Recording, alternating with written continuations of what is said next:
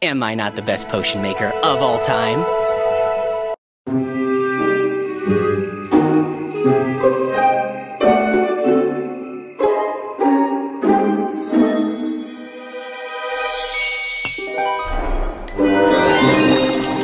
Magic, huh? Just another means to an end.